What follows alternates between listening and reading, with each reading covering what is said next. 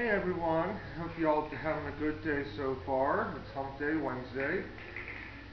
Took my uh, asset test yesterday and did pretty well at it, according to what the lady who administered the test said.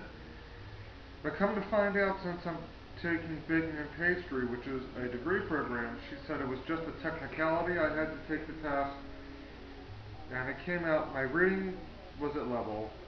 I just needed standard writing and basic algebra.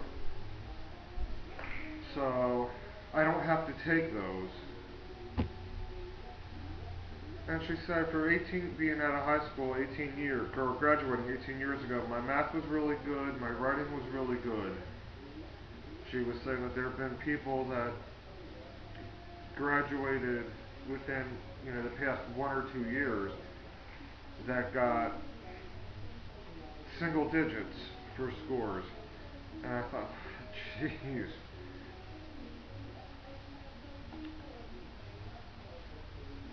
I thought Baltimore City Public Schools was bad, even though I lived, graduated from Baltimore County Schools.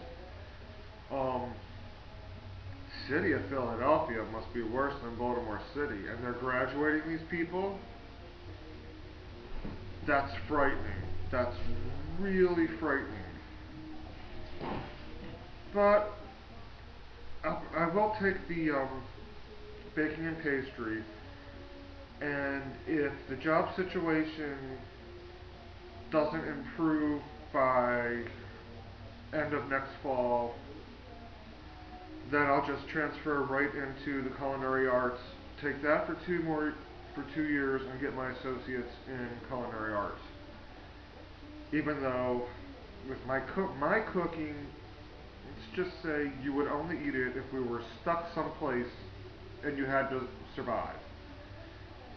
Uh, it's how bad my cooking is. But my baking and making desserts and bread is really, really good. Which I like doing much better anyways.